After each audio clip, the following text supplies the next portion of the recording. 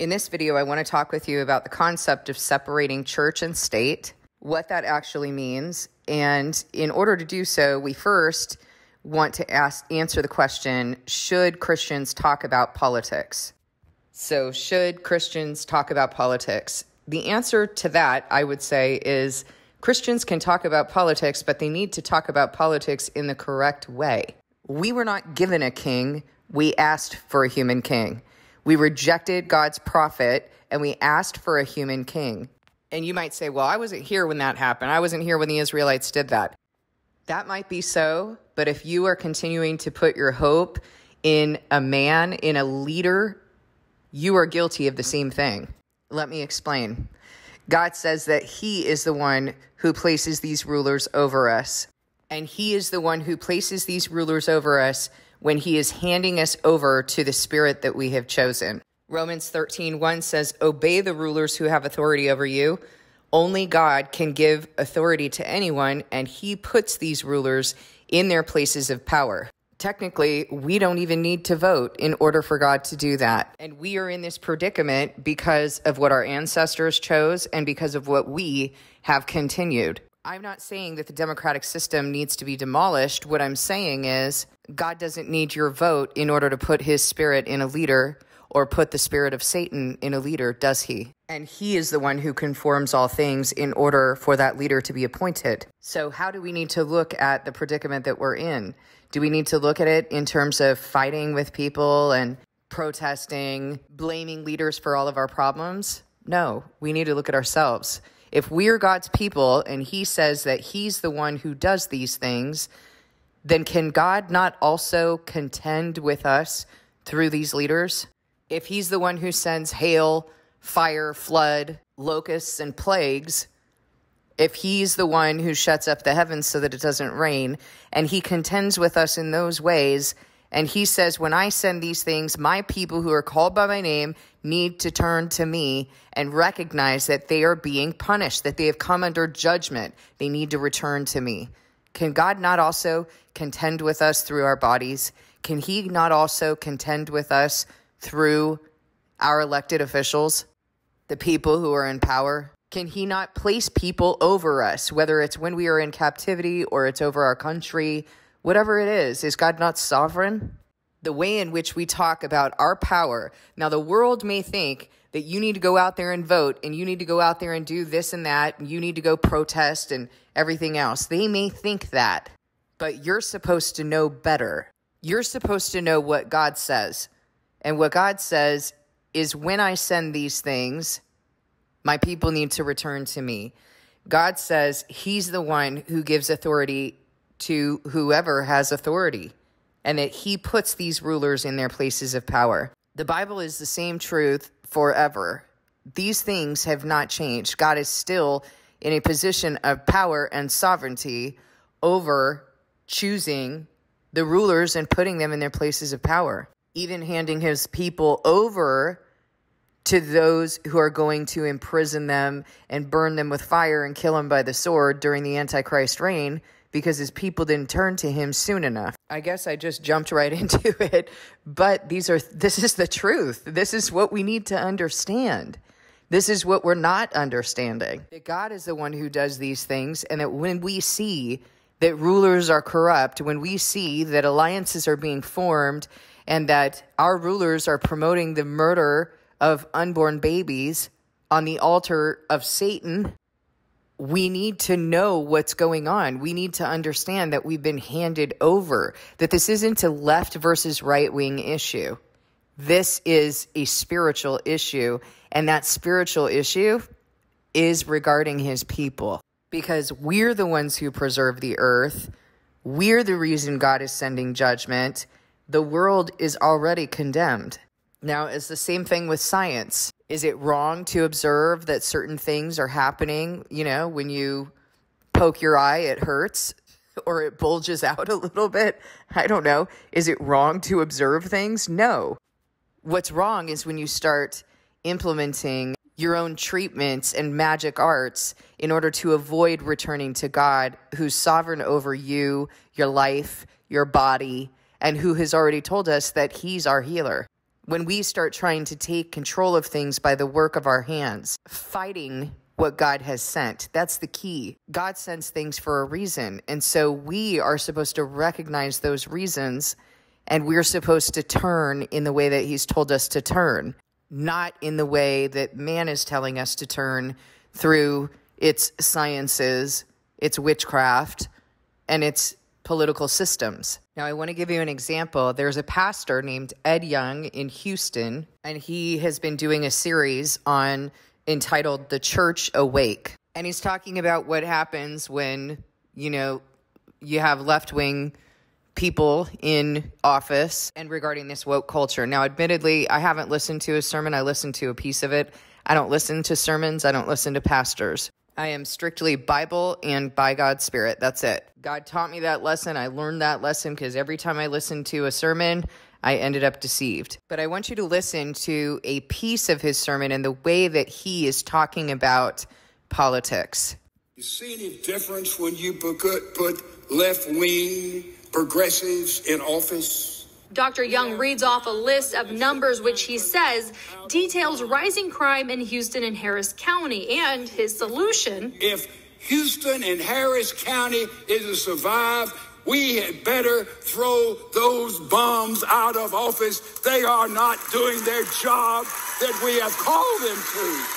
Okay, so this is taken from KHOU 11 News. I don't endorse this news station. It seems a little like they are actually a little to the left, and I'm not for either, but I'm definitely not for the left. So then they introduce a left wing progressive who says, oh, that's crossing the line because the opposite of voting for the left is voting for the right.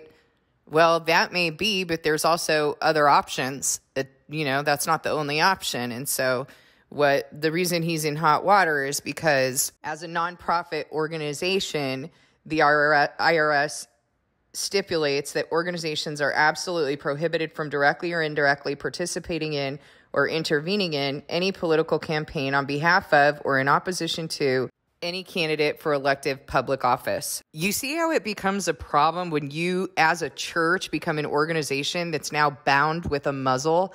That's the reason why this could never be what I am doing, could never be an organized thing that's regulated, which means it will most likely not be the way that I'm paid. Because then you start to put a muzzle on truth, or you have to, you know, speak in a particular way that the world is dictating. God would never set up his church that way. So, one thing I will say is kudos to Dr. Young because at least he has the courage to say these things. From what I understand, it's not the first time he's been in hot water. Nevertheless, he's speaking incorrectly. He is leading the church that he's speaking in, which don't miss, don't confuse a church for the church he's speaking in that church incorrectly. As much as he's yelling on stage and sounds very convicted, he's angry with a man while denying the sovereignty of God, having the appearance of godliness but denying his power. Because the Bible I'm reading in Romans 13:1 says, "Obey the rulers who have authority over you. Only God can give authority to anyone, and he puts these rulers in their place of power. Now, don't misunderstand, obey the rulers who have authority over you. Obviously, if those rulers are conflicting with God's laws, you don't obey. He's not saying to receive the mark of the beast. He's not saying go get an abortion or bow down to Baal. But we do need to understand and acknowledge that God is sovereign and he has the ability to hand us over to the spirit we've chosen in order to contend with his people. And if his people believe that he's sovereign and believe the word and what it says, then the message that should be preached is not get out there and vote, is not knock these people off their platform. The message that should be preached is one of warning and repentance and return to God. Hey, we're supposed to recognize these things. What do you guys recognize is going on right now? God is flooding several places on this earth. He's scorching the earth with fire and heat. He's drying up all the grass of the land and he's sending hail.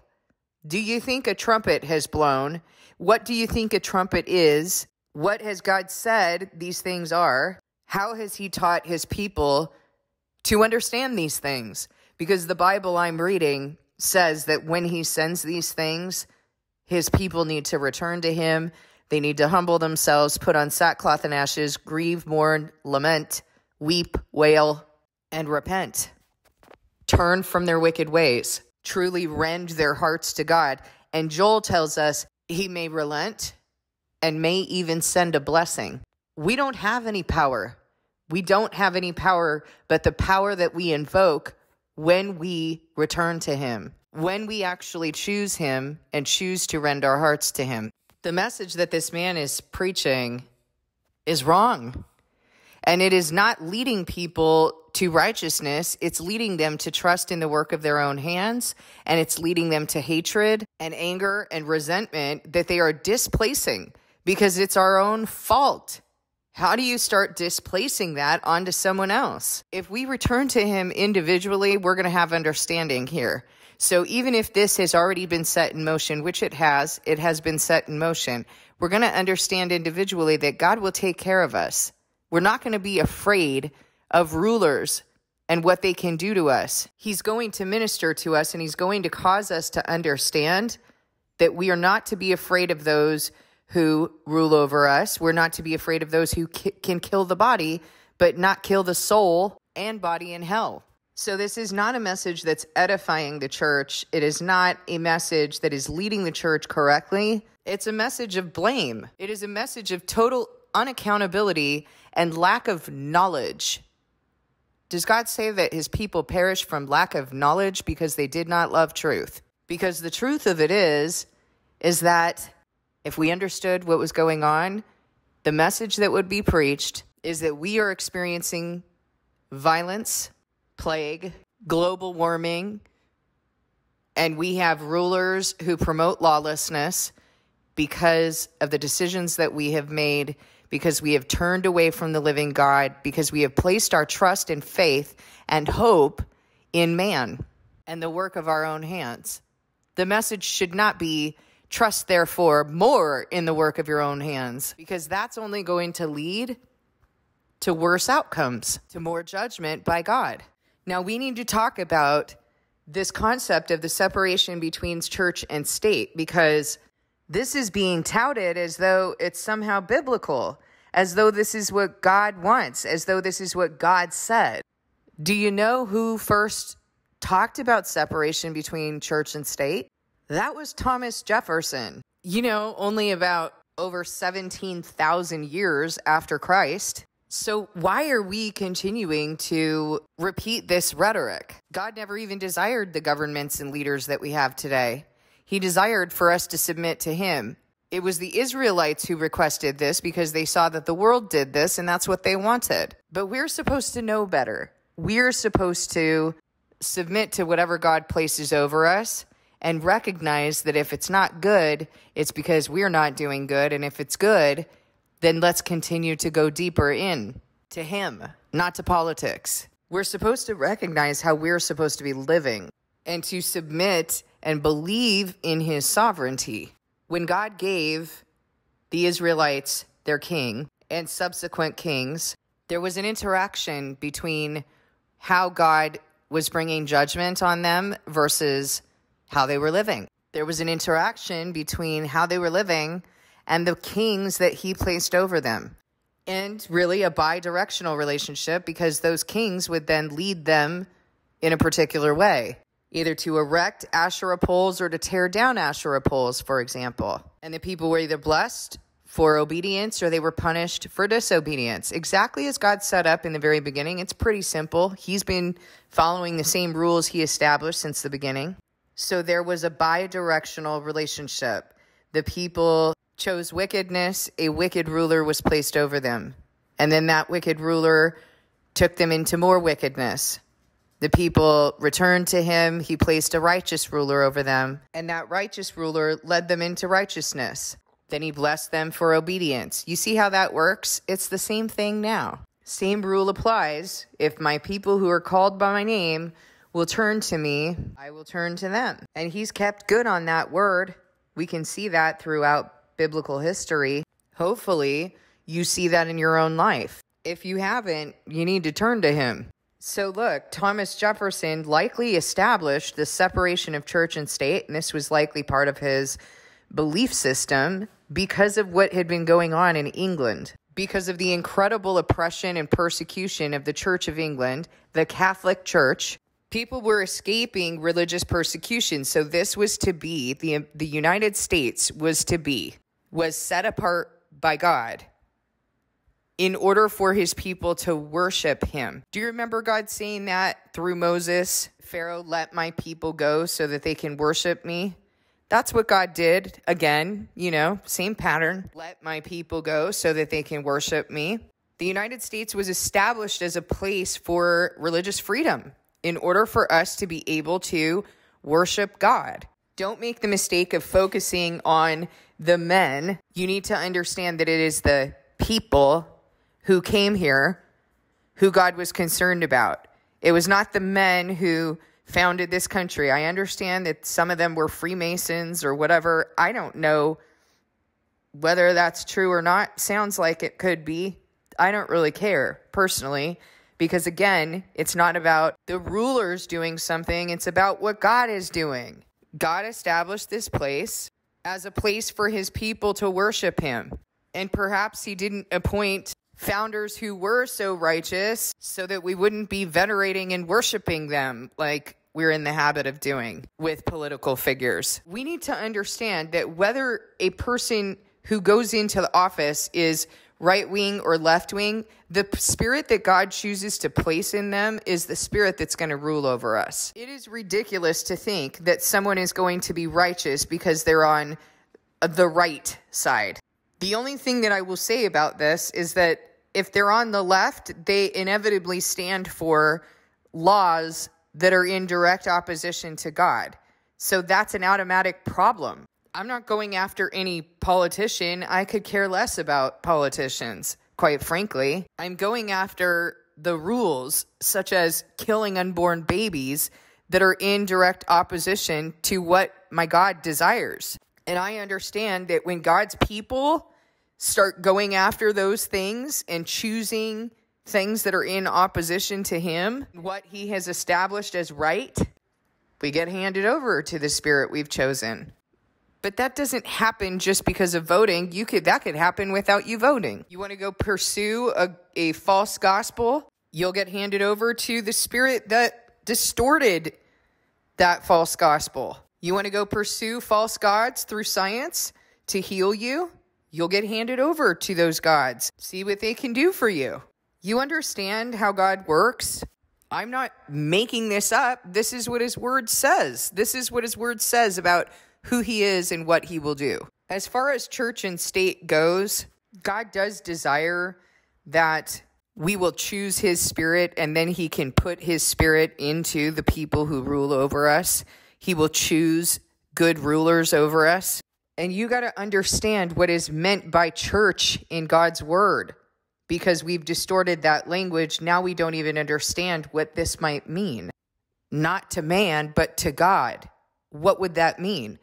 God's church is in the believer and collectively in the believers. We're being fitted together as a temple to rise as holy before the Lord. It is fitted together in the body of Christ. So if you have a person in office who has the Spirit of God, and they are leading the people, guess what? The church is there. On the other hand, if you have a ruler who has the spirit of Satan in them, guess what church is there? There's never actually a separation of church and state, you guys. You can see the ideology of that church of Satan, of the synagogue of Satan that is implementing its agenda.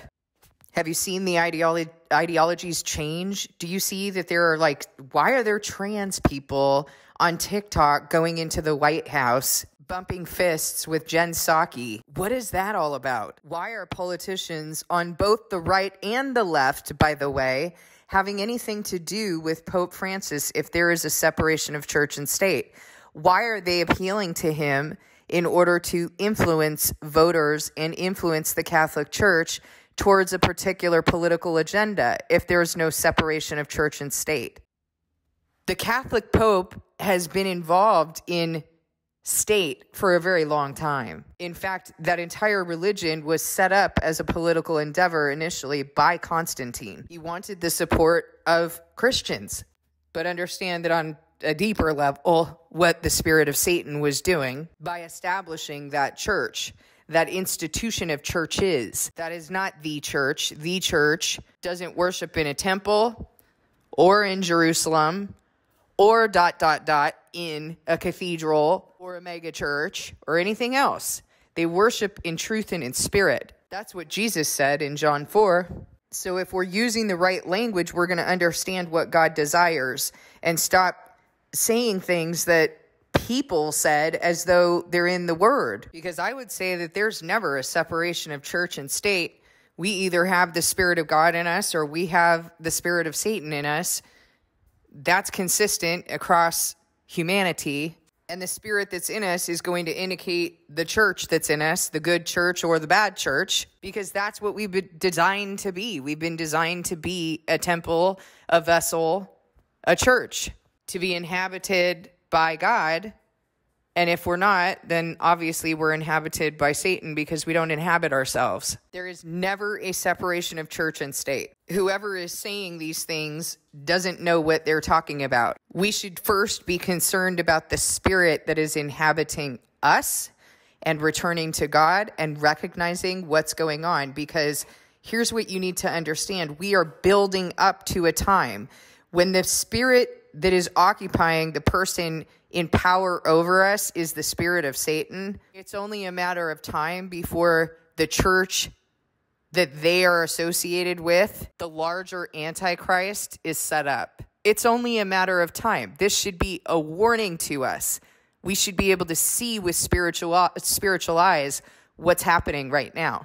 And I've talked with you about that coming together of that church, of that bad woman the harlot that is riding the church that is riding the beast. What is a beast? A beast is a system of government. I've talked with you about how the spirits in each of those people, each of those kings, is coming together to form the beast, to form the beast that that woman has been riding. She's been fornicating with these kings. She's been fornicating with these government systems for a long time, has she not? And she's got her own agenda. She's got something in mind that she wants to do. And so the little horn that's going to rise out of that beast system will be papal Rome, and they will come into power again. I read an article to you the other day on one of these videos regarding the Pope advocating for secularism, saying that God does not want a combination of church and state. Says who? And part of what I explained to you is some of what I've explained to you in this video that we don't have a separation of church and state. Whatever spirit is occupying those who are running the country, they belong to a church, okay? Whether it's a counterfeit church or it is the church of God belong to a church. It's not the church that is executing things on people, it's the spirit of Satan in that church that has persecuted people through Catholicism because that's his church. And in fact, it doesn't even have to be an organized church. You understand? It's the spirit of Satan, the spirit of the Antichrist. God's perfectly capable of moving the leaders to do what the people have chosen by choosing his spirit, by returning to him. So you need to recognize that there are already political leaders such as John Kerry who are going to the Pope and appealing to him, enlisting him to perpetuate propaganda, political propaganda. Do you hear him doing that? Because I've read you a few articles where he promotes wokeism and he does not ever, I never see him actually speaking on the word of God. He just distorts everything according to his own agenda. Never do I hear him speaking on the Word of God as though the Word of God holds any authority whatsoever. It's always some spin and some Catholic teaching. So be careful about thinking that things are going to show up in the way that they have historically. In a, a organized religion kind of way. Because the message that the pope was putting out the other day had nothing to do i mean he doesn't even have any regard for that. The spirit in him does not even have any regard for that. Out of one side of his mouth he's he's saying that you know god has been removed and out of the next side of his mouth he's saying he's advocating for secularism. He doesn't really stand for anything. He's just trying to appeal to everybody and in that way, people can just, you know, basically make up their own theology of what they believe he believes, right? Just like they do. They just make things up as they go along. And whatever their priests say becomes incorporated into their theology and their doctrine. So you have to understand that this rising of power is already starting to happen. It just may not happen in the way that you think it's going to happen. When John Kerry goes and appeals to the Pope, he's appealing to the power, the papal power. Do you understand what that even signifies in Revelation? He is appealing to the papal power to influence.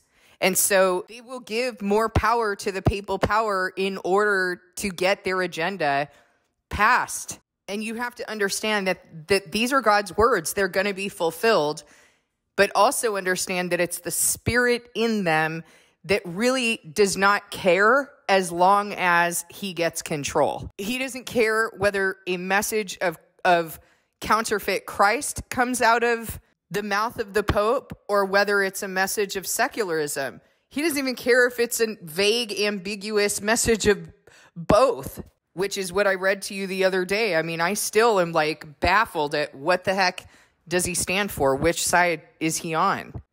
Or which side is he trying to pretend he's on? It's actually seems to be more more likely that what is going to happen is that there's going to be a message of secularism and integration and reconciliation. These are the words that he uses, by the way. I'm not making up words. Secularization, integration, and that is integration of evil. Okay. We don't want to alienate the LGBTQ plus community. We need to integrate. And by integrate, he means that needs to become part of your ideology. That needs to become part of the church. He goes around telling people who were abused by the Catholic Church who end up having that spirit that they were born, that, that they were created rather to be gay, that the Creator created them to be gay. Do you think he's scratching the back of that demonic political system? Of course he is. So I'm not so sure that this is actually going to look like it did previously, where there was a counterfeit Christian system. It seems to me that it's going to actually look more like a woke church, that it's going to look a little bit more worldly. And still, people will still be deceived. Don't think for a second that they won't be deceived. And Daniel 11:37 says that he will show no regard for the gods of his ancestors or for the one desired by women, nor will he regard any God, but will exalt himself above them all. I have a feeling, based on the way that things are going, that in order to appeal to more people, that this is going to become very, very worldly. I can already see the language being very diluted in order to appeal to the world. That people within that church are going to begin to also appeal more to the world because we know the way that he distorts things, the way that he distorts language, the way that the love of Christ is being distorted, for example, in order to mean that we have to tolerate sin and incorporate that into the church. So pay attention to what a church actually is. If God says that his church is in the believer, in the believers who worship him in truth and in spirit, then the opposite of that, the counterfeit church, where are they worshiping? In falsehood and in that spirit and in their flesh. As it is, that's exactly what we see. You don't see that happening in the heart and the spirit. They're not even allowed to get into the heart and the spirit because they're too busy being told what to think and do in ritual by a person. They don't even know the Bible everyone I've ever talked with does not know the Bible because I that's what I speak on, that's what I reference, and they don't know it. They refer to what the priest said to them, what they learned in a teaching rather than what they learn in the word, which is why I tell you you have to know the word. You got to know the word. If I talk about something that you're not familiar with, you got to go to the word and make sure that you familiarize yourself and that you're being accountable. You know, I want to give you another example to help kind of solidify this because I know that this is more abstract. It is spiritual symbolism that God is using. And I want you to be able to get it, to be able to understand. Trans people often talk about being anti religion, but you have to understand that what they are doing by cutting off their genitalia, for example, I wrote about this in A Soul Aligned. They are actually engaging, those are practices that are still practiced today, but that's a thousand, like thousands of years old religion called Gnostic dualism. Actually, I'm going to read to you about it from A Soul Aligned so that you can understand that this is a religion. So that what I'm talking with you about with regard to what spirit is occupying a person and the ideology that they're putting out there and promoting and uh, particularly when the spirit of Satan is coercing others to go along with that and refer to them by these pronouns and acknowledge them and everything else, that's a religion. That is a religion. It has its roots in religion called Gnostic dualism. It's a cult, but it's still a religion. But now it's being put off as someone's identity. And it's just another way to sort of sock it to the creator. I reject what you created. Hate the creator, hate the creation. Ashtoreth, referred to in Judges 2.13, 10.6, Samuel 7.3, and 12.10, was a goddess who confused gender by promoting cross dressing in biblical times. As priests of Cybele, the Galli devoted themselves to their goddess by castrating themselves, apparently removing both the testicles and the penis, cross dressing, and in some cases, offering themselves to other men for sex. A tax may even have been levied on them as prostitutes. The Galli were often described in derogatory terms such as pathicus, meaning faggot, mollis, meaning softy, and or cinaedus, originally an Eastern dancer, but later a term for a grown man who displayed effeminate behavior and or desired to be penetrated. Being a gallus was deemed the ultimate in unmanliness. Andres 2015.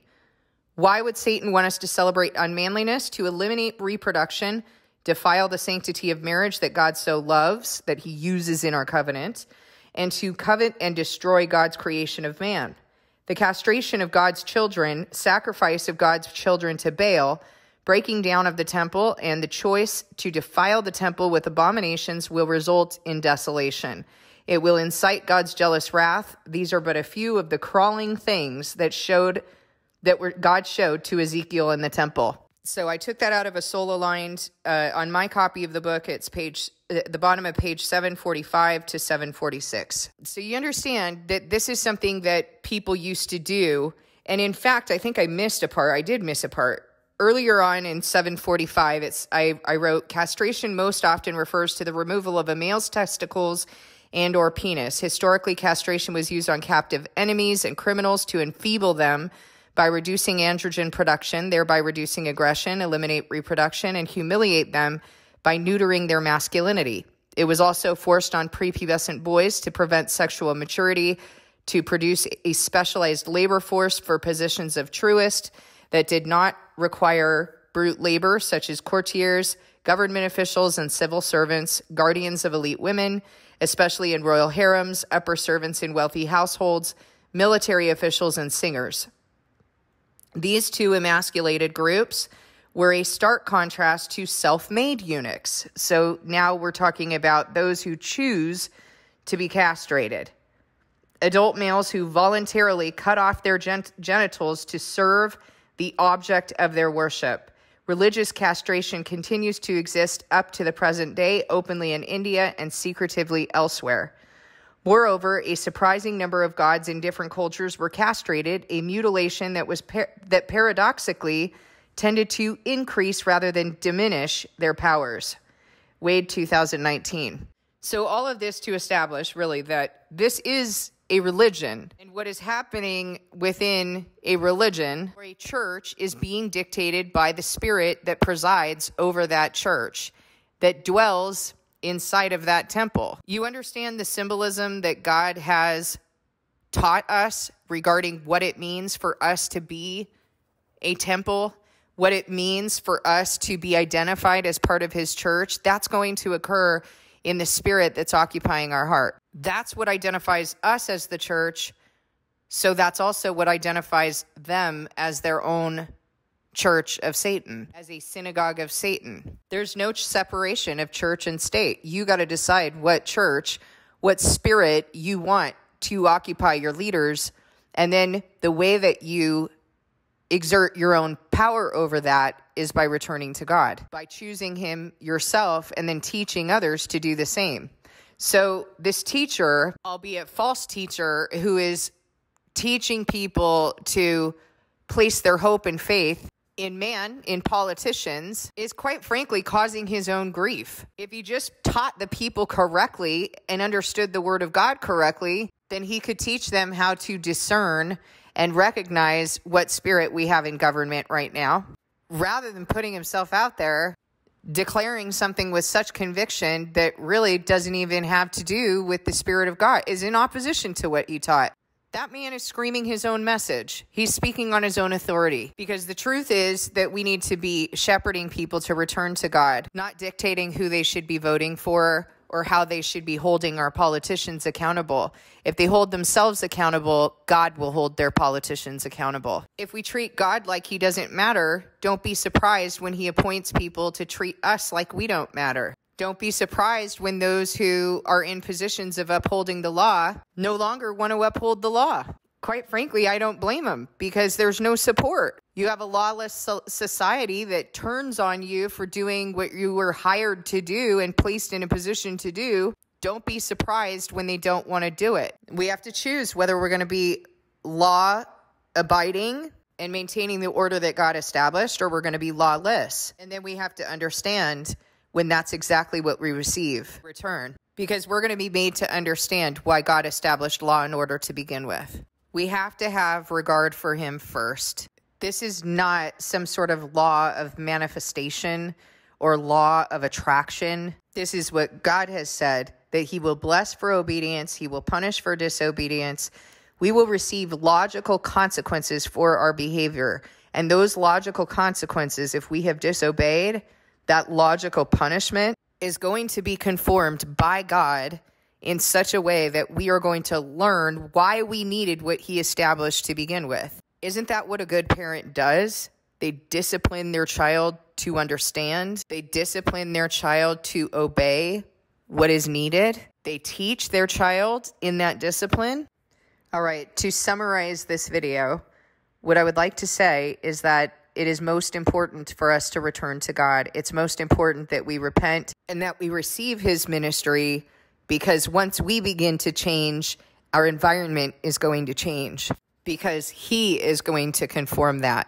He's going to bless us for our obedience. Additionally, if you understand how that works in your own life because you're receiving His ministry and you see what He's doing with you, you're going to understand how that works in others when you're fanning into God's flame, He is going to cause you to behave in certain ways that are consistent and congruent with His integrity. And likewise, that's what's going to happen to the leaders that He chooses to rule over you. He has every ability to cause that person to be inhabited by His Spirit he has every ability to conform things to work for the people who actually love and respect him. So please understand that when this happens, when this antichrist system rises, it will be the result of what his people have chosen. It will be the result of the spirit that they have chosen. And it will be the result of the consequences that God has seen fit to send. The discipline that is required because he tried to cleanse them and they would not be cleansed and therefore they will not be cleansed again until his wrath has subsided. This has already been set in motion, at least from what I hear from God. I understand that this has already been set in motion. Don't let that be a reason why or a reason for you to delay returning to him because these things are already already going to happen. It should be all the more reason to return to him so that you pray that you are not here during that time, that you are spared from living during that time because you need to remember that the word says that those people pray for death. They they desire death, but it eludes them. Have a long-term perspective. Have the perspective that you don't want to be here longing for death and that God has said don't fear those who kill the body, fear the one who can kill both body and soul in hell. That God's word indicates that those who die for him and suffer for him are have honor with him, that they're going to be priests of God. I know that that's an intense message, but it has to be said because no one's saying it. No one seems to understand what we've been called to bear these very last days not even end times. We're in the last days, the last years. Although we don't have those years to get it together, we need to get it together now so that we're spared from going through what God says is going to come on those who continue to spurn him and refuse to accept him until the very last minute. I pray that this message reaches you. I know it's a hard message to hear, but I really do pray that it gets in, that the Holy Spirit testifies to it and works within your heart to understand what it is that I'm talking about here. Thank you so much for listening. God bless you, and I'll see you in the next video.